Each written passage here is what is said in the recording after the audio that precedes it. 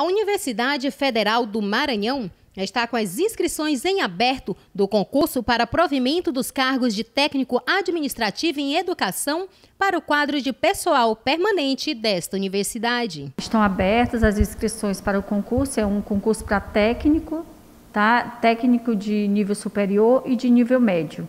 Então tem vários cargos, são 17 vagas distribuídas nos campi da UFMA, então de São Luís a é, a balsas. Para balsas, nós não temos uma vagas já destinadas. O candidato que fizer para balsas, com a intenção de trabalhar em balsas, ele vai ficar no cadastro de reserva. Se surgir uma vaga, se porventura surgir, é chamado para balsa. Mas agora, nesse concurso específico, não temos vagas para cá, para balsas. O edital está disponível no site da UFMA, contendo todas as informações necessárias para aqueles que desejarem se inscrever. Tudo está disponível no site da UFMA, tem uma, uma aba lá de concursos, então qualquer pessoa pode acessar www.ufma.br e lá tem concursos. E aí, acesso edital, a, a, inscrição foi do dia 17 agora de janeiro, vai até o dia 2 de fevereiro, então tá, está quase encerrando a inscrição. As provas vão acontecer em março, lá em São Luís, então não tem prova em Balsas, Imperatriz, só vai ter em São Luís. E todas as informações estão lá.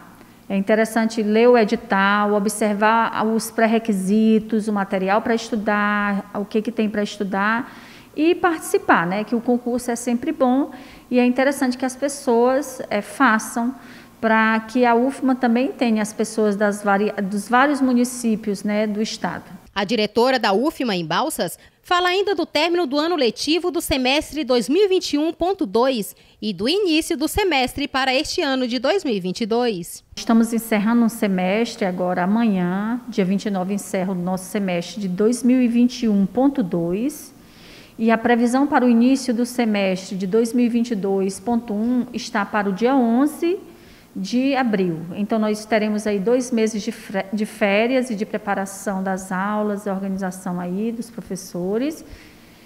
A proposta da universidade, que ela é, publicou a resolução, é de que continuemos remoto no semestre que vem por causa dessa questão da pandemia até uma segunda avaliação, né?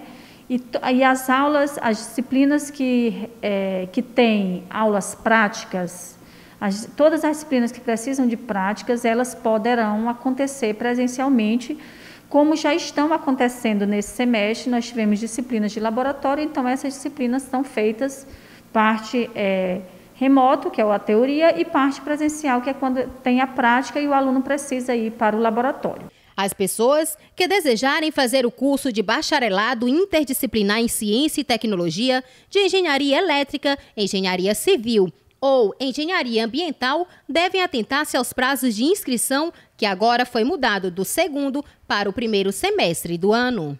A entrada de aluno em Balsa sempre foi no segundo semestre. Neste ano vai mudar para o primeiro semestre. Então, você que quer estudar o bacharelado em ciência e tecnologia ou alguma das engenharias que nós oferecemos, deve ficar atento às, inscrição, às inscrições do SISU que vão acontecer agora no início do, deste ano. Inclusive, a data de início do, do semestre, para 11 de abril, é por causa do atraso que teve lá na, nas correções, nas, de todo esse processo do Enem até liberar a, a, a publicação do edital do SISU.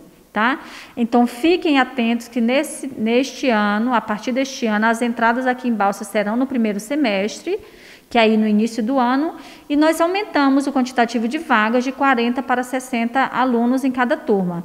Então nós temos 60 alunos para estudar de manhã e 60 alunos para estudar à noite, totalizando aí 120 vagas para este ano.